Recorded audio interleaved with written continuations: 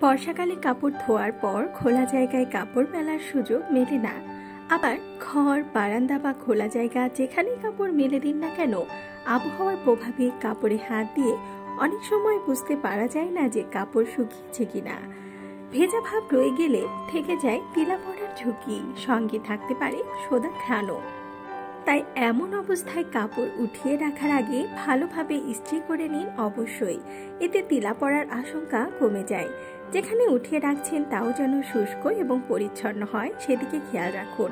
বর্ষায় আলমারি বা সংলগ্ন দেয়ালেও স্যাঁতসেদে ভাব দেখা যায়, যা উঠিয়ে রাখা কাপড়ে তিলা পড়ার ঝুঁকি বাড়ায়।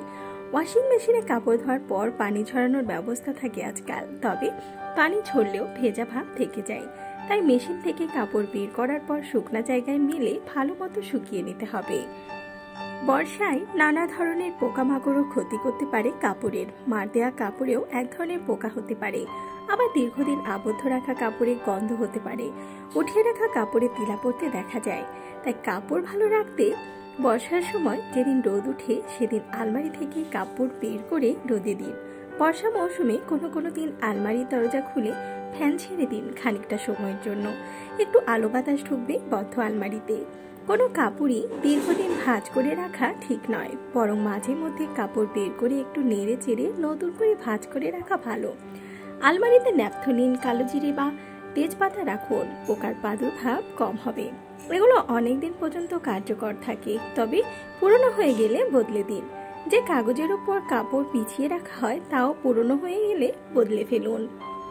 অনেক সময় কাজে বেরিয়ে ঝুম বৃষ্টিতে পড়লেন হয়তো।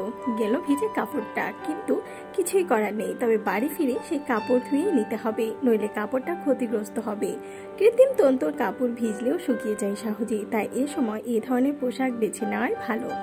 কাপড়ে তিলা পড়লে সেটা ডিটারজেন্ট বা শ্যাম্পু দিয়ে ধুয়ে ফেলতে হবে, এরপর শুকিয়ে নিতে হবে ভালোভাবে। যে কাপড় চাইলেই ধোয়া যাবে না, সেগুলো হালকা ব্রাশ করে দেখুন তিলার দাগ ওঠে কিনা। এরপর রোদে দিয়ে দিন। অবশ্য বেশ পুরনো হলে ড্রাই ওয়াশ করতে হবে, অর্থাৎ পেশাগতভাবে দক্ষ কারও স্বর্ণপন্ন হতে হবে, যারা রাসায়নিকের সাহায্যে এই দাগ দূর করার চেষ্টা করতে পারে। তবে কিছু তিলা হাজার চেষ্টায়ও দূর করা যায় না। সাধারণত দীর্ঘদিনের পুরনো তিলার ক্ষেত্রে এরকমই হয়। তাই তিলা প্রতিরোধ করায় কাপড় ভালো রাখার সবচেয়ে ভালো উপায়। ভিডিওটি ভালো লাগলে চ্যানেলটিকে সাবস্ক্রাইব করুন আর পাশে থাকা বেল আইকনে ক্লিক করে দিন। তাহলে পরবর্তী ভিডিও আপলোড করার সাথে সাথেই আপনার কাছে পৌঁছে যাবে।